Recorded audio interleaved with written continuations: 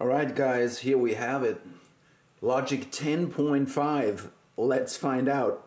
Let's let's find out together. So here's my welcome screen. I have a Launchpad Pro laying on a Maschine Mark III, by the way, which always is nice, which gives you the tracks and you can use it as a um, you know control surface. And anyway, so Launchpad Pro, look at that. It seems to be set up right out of the box, and um, I really like it because you can, uh, the tracks, for example, you can volume and panning, all of that works. But anyways, I'm already getting ahead of myself.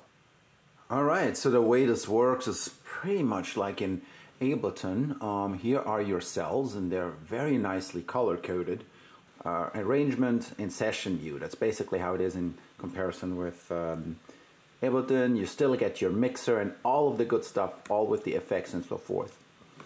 And here up there, you have the little, uh, you can toggle between what you're looking at.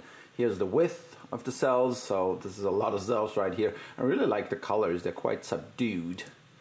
Um, it looks less of an Excel spreadsheet in my book than Ableton Live, and I've done some really cool songs I feel uh, with Ableton, and I really like their workflow. It's a full-size DAW, so uh, no, no dissing Ableton live at all. It's a great um, DAW, but you know, I like doing one DAW. I, you, you got to pick one in my book. All right, let's see how this sounds here.